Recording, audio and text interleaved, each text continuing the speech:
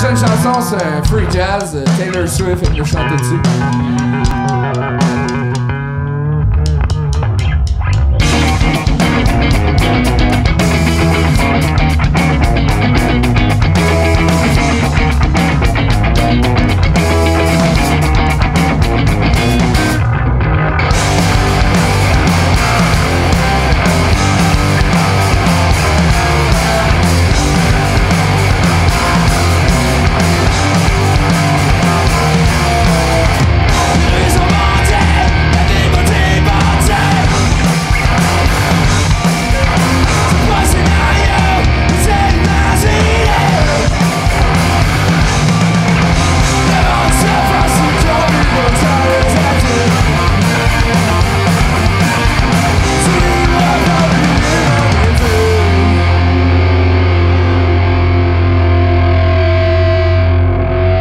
아, 대단.